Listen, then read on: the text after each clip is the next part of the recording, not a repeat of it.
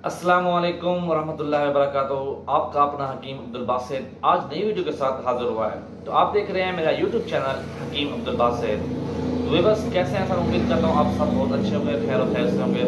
आज की जो वीडियो है, आज का जो हमारा टॉपिक्स है, वो है बाल गिरना, बाल झड़ना। बाल क्यों गिरते हैं, क्यों झड़ते हैं, ये आज आपको बताऊँगा। और इसका जो है, आज मैं आपको नुस्खा भी बताऊँगा।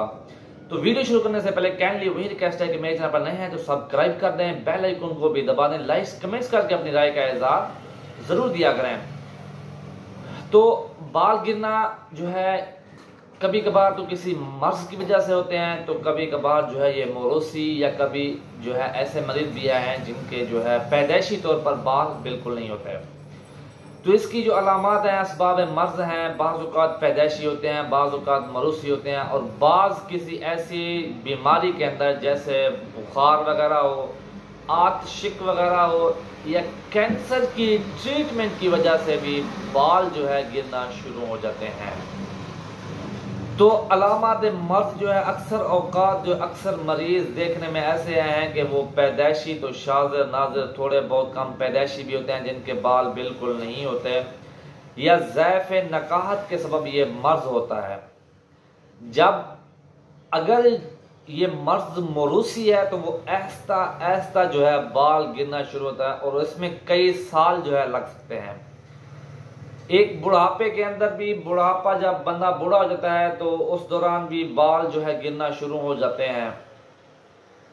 तो अगर आपको बाल गिरने की बीमारी है और मोरूसी नहीं है, विरासत में नहीं आई है और पैदाइशी भी नहीं है तो आप ये नुस्खा इस्तेमाल करेंगे इनशाला आपके बाल जो है गिरना एक ही दिन में के अंदर खत्म हो जाएँगे। बाल झड़ना, बाल गिरना एक ही दिन के अंदर जो है बाल गिरना आपके बिल्कुल खत्म हो जाएँगे। वो नुस्खा आज मैं आपको बताने वाला हूँ। तो नुस्खा जो है आप नोट कीजिएगा। नुस्खा है मार्क्स तोखम करंजुआ। मार्क्स तोखम करंजुआ पोस्ट बेख चित्रक। बरगे चंबेली। पोस्ट कनीर सफ़ेद। हर एक का जो है, आपने एक एक छटाक लेके इसका जो है, अलहदा अलहदा आपने सफूफ तैयार कर लेना है। सफूफ तैयार करने के बाद आपने जो है, कली का एक बर्तन लेना है। उसमें रोगन, तिल, सफ़ेद तिलों का तेल जो है, एक सेर पानी जो है, इसमें चार सेर आपने मिलाकर नर्म आग पर इसको पकाना है। जब तमाम पानी जल जाए, बिल्कुल ख़त्म हो जाए तो आपने जो है तेल को अलहदा जो है महफूज कर लेना है। जो आपने दवाएँ कूट कर सफूफ बनाया था, पानी की मान उसकी जो है अपना लगदी बना लेनी है।